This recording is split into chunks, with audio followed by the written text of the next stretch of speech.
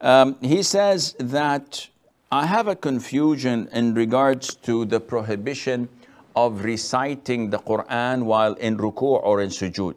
This is true. This is a hadith. You are prohibited from reciting the Quran.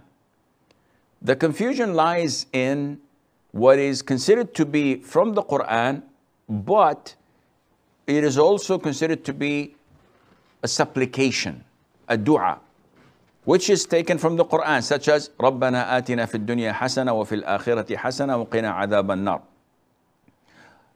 رب اغفر لي وارحم ربي تب علي etc.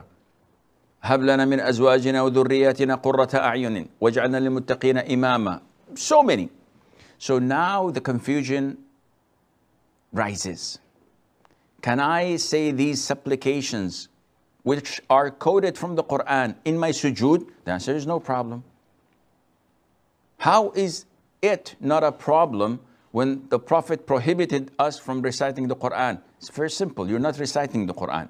Here, you're reciting a supplication quoted from the Quran.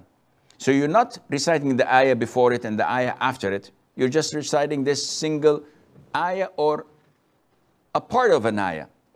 And this is why scholars say that even if I were to be in the major uh, uh, ritual impurity, if I were junub and I want to sleep before having my uh, uh, bath, my ghusl, can I say the adhkar, which includes Ayat al-Kursi, huwa Allahu ahad, Qul a'udhu falaq qul nas? The answer is no problem.